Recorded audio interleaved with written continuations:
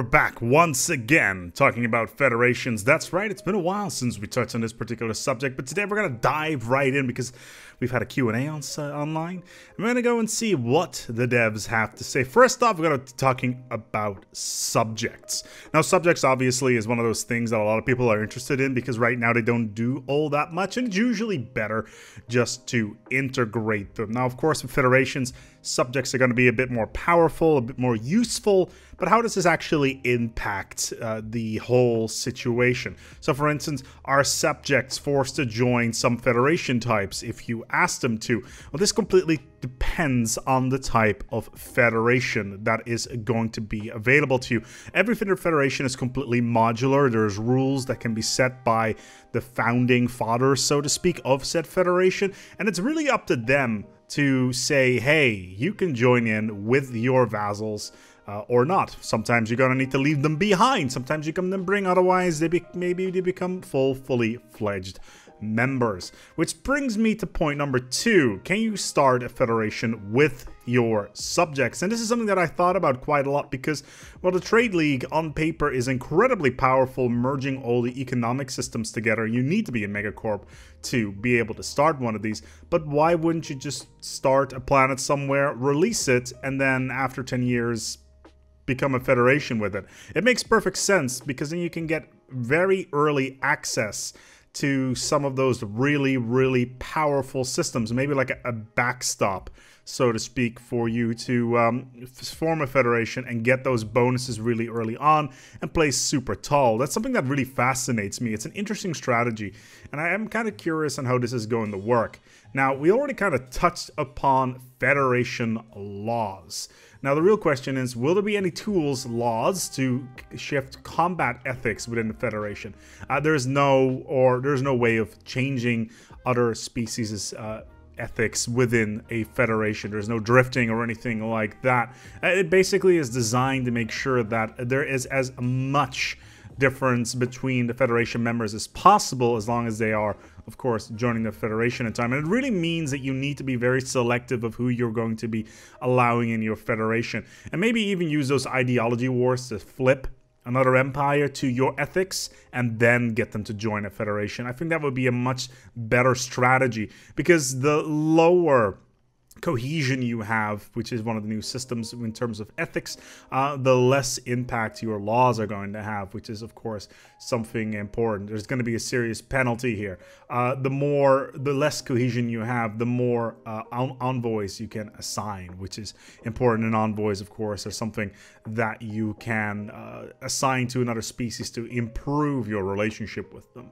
Uh, so things like member policies, uh, can we get uh, uh, uh, federations to change member policies, such as full citizenship throughout empires. There's no way of influencing laws of other empires. Similar to ethics, there's no system there, but it's open for modding, so it's totally possible. So, how many laws are there? Well, there's 14 categories of law with 2 to 5 each, so somewhere around 70 different available laws uh, that you can start depending on your ethics, type of federation, etc., etc. So there's actually quite a lot of things going on here. Um, there is a whole bunch of other things here. Um, laws like secession type, uh, federations, economy, technology, diplomatic weight. All of those items are actually being addressed by federation laws, which is rather interesting. I particularly like the challenge types, which basically means that, uh, hey, who is going to be the leader of this federation? So can you maybe buy yourself into becoming the head of the federation? Can you go for a personal fight, a duel, so to speak? These are all uh, uh, things that are um, available. Sadly, you cannot be, be the leader of the federation if you are the weakest, uh, which would be a very interesting idea. It's uh, basically similar to the uh, crown law in Crusader Kings, where the youngest person in a uh, hierarchy would become the leader. Uh, that doesn't uh, uh, that doesn't exist. But again, it can easily be added in if necessary, if the demand is high enough. Uh, things like one nation, one vote. Are we going to see uh, federations merging into one whole big empire. No, that system is currently not in effect. So that's uh, that's that's uh, kind of interesting. You will not be able to merge a federation into one giant super state. Uh, the members of the federation will always be working together uh, as a group and uh, kind of like uh, say the European Union in that sense. There's overarching laws, but the member states still have their own uh, individual sets of how they deal with their own internal policies. Now we don't really have much of an internal policy system except for the core policies, and uh, we'll dive into that uh, probably later on. Will the Federation setting uh, be there if if all members have a defensive pact? Um, federations will always go the war the getter. So if one empire gets attacked, they will apply. Uh, the war will go down on the entire federation. So it's like a NATO style thing, and uh, yeah, that, that's basically uh, there. Now, there's also centralization. We touched upon this earlier in other Dev Diaries, of course. Uh, the higher the centralization, the more fleet power, for instance, you have, the higher, stronger Federation bonuses you can unlock. But it will also, again, have a negative impact, impact on cohesion. And that cohesion obviously uh, means that you can get higher levels within the Federation. So it becomes a balance, and you need to then apply more envoys to improve that Federation cohesion. Now, leaving laws behind us, everybody's always like, hey, Federations are cool. How do I get the big guns though? Well, let's talk a little bit about the Federation fleet. First of all, I know the question in the back of your head, does the Federation get its own juggernaut? Yes, Federations get a own juggernaut. They are supra uh, nationalist organization. They get their own fleet, which includes a juggernaut. So hypothetically, if you're the leader of a federation and you also control the fleet, you can hypothetically field two juggernauts, which I think is rather cool. Uh, in terms of fleet capacity, right now federations are capped at 500. That is going to change based on fleet contribution laws, which again is something that is modular within the Federation framework and you can change up and down. So yeah, the higher the fleet contribution, the larger the maximum size. Of course, uh, hegemonies will have higher fleet contributions. It really depends on the type of Federation that you're running to see which of the laws you can implement. Um, when it comes to who gets to control the fleet or delegate the fleet, um, there is really no systems in place for it at the moment. Currently, the leader of the Federation gets control of it. There is no war leader or a species that is specifically uh, set up as, uh, hey, you guys get huge bonuses to warfare or something like that. You guys get to control the fleet whilst we're in war. That doesn't really exist, sadly. So moving on, we're going to go to talk about Federation types. We also have such wonderful things like Gestalt empires within Stellaris, and in the past they've been kind of left out from things. Spiritualists usually don't like them, etc., etc., etc., but they will be able to start their own federations. For instance, the hegemony can uh, be started by a rogue servitor, which is uh, interesting. It's, uh, it's an interesting setup right there. Uh, considering they don't get access to the prosperity tree, they cannot start a trade league, which is something you want to keep in mind. Uh, is it possible to change the type of federation as the game moves on? Yes, you will totally uh, be able to change your federation type, but you will lose all progress in the current federation. So all your laws will be reset, etc., etc., etc. So that is uh, definitely there. You kind of want to mm, you kind of want to fiddle around with this sort of thing because building up a federation takes a long, long time. People have been asking, uh, why are there no spiritualist federations? It's, it's, very easy. There is no religious system within the game aside from the fact that some species can be, in fact, spiritualists. So, uh, right now, there is no spiritualist hegemony available within the game, which I think is uh, a real shame. Maybe in the future, we will see something along the lines of uh, a religion system being introduced within the game so we can actually have uh, religious federations. And that would be really cool. I, I really want to see this sort of thing because uh, uh, it, it really spices things up. I don't think it's going to be a core mechanic or really something that defines the game like a full-on expansion. Uh, I, am pretty sure we're going to see a religious expansion sooner or later, but right now we just don't have any of that sort of thing in mind. Uh, in the Federation or Hegemon Start, will you be able to make the empires in your Federation and the Empire creation, kind of similar to um, the syncretic evolution system works. No, um, the, uh, they are randomly generated, so you can't just min-max that. that would be incredibly overpowered. Uh, but yeah, so it's nothing like that that we've seen in Syncretic Evolu uh, Evolution, which is a bit of a shame, but yeah.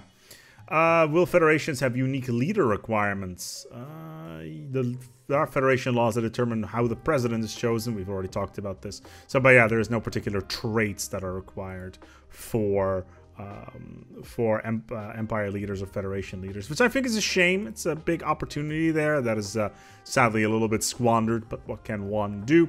I think this was mentioned before. Maybe PDX, some of the hegemonies can force members through war goals. Uh, yes, the hegemony can get a war goal to force other members into their federation. Basically, it's an upgrade from the vassal system in that regard, which I think is, is, is rather interesting. Then Fallen Empires. In some very rare cases, Fallen Empires can join federations, but if they wake up, you're in trouble because they will try to take control of it, which could be good or bad depending on the type of federation it is or what kind of fallen empire it is. If it's a technologically uh, advanced, fall, well, they're all technologically advanced, but if it's a uh, if it's a happy fallen empire, they'll probably like you a lot more than, say, the militarist uh, isolationists, but that's a, a, whole different discussion altogether uh, federations will go to war uh, during the war in heaven, which I, saw, I personally also asked about at PDXCon.